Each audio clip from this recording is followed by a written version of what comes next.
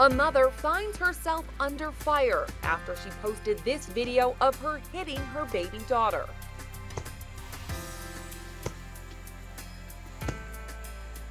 But not all is what it seems. Daisy Evans has cystic fibrosis.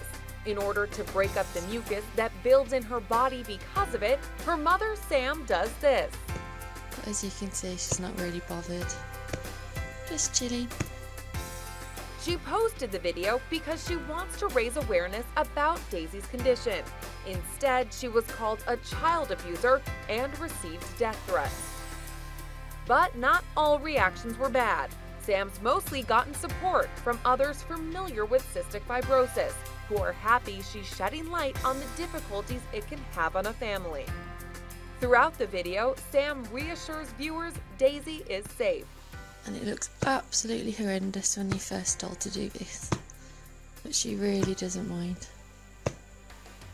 While Daisy might be okay with the physiotherapy, apparently the Carpenters' music is a different story.